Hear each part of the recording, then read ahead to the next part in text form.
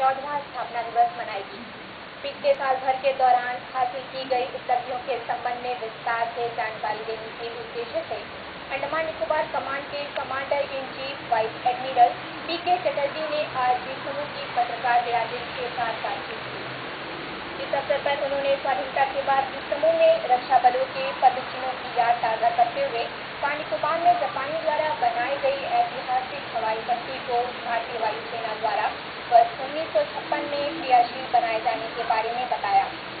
सिंकेन ने कहा कि कारगिल युद्ध के बाद भारतीय तटरक्षक सहित अंडमान तथा निकोबार द्वीप समूह में मौजूद सभी रक्षा बलों को एकीकृत करते हुए भारत सरकार ने देश की पहली एकीकृत त्रिसेवा रक्षा कमांड के रूप में कमांडर इन चीफ के नेतृत्व में अंडमान तथा निकोबार कमांड की स्थापना की।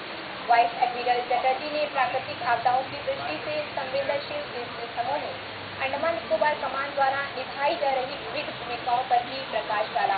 इस दौरान उन्होंने जिस समूह के स्थानीय निवासियों के कल्याण के प्रति अंडमान निकोबार कमान की प्रतिबद्धता को दोहराया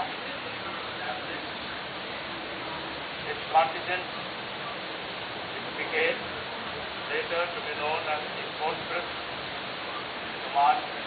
of the Andaman, Nicobar, in 1930. पूरे विश्व के साथ साथ निकोबार द्वीप समूह में भी पहली अक्टूबर को अंतर्राष्ट्रीय बुज़ुर्ग दिवस मनाया गया। मुख्य समारोह पानिकोबार के किन्यूका गाँव के सामुदायिक सभागार में आयोजित किया गया। इस दौरान बुज़ुर्गों के लिए स्वास्थ्य शिविर का आयोजन किया गया, जिसका प्रमुख कारण बुज़ुर्गों में स्वास्थ्य के प्रति जागरूकता लाना था।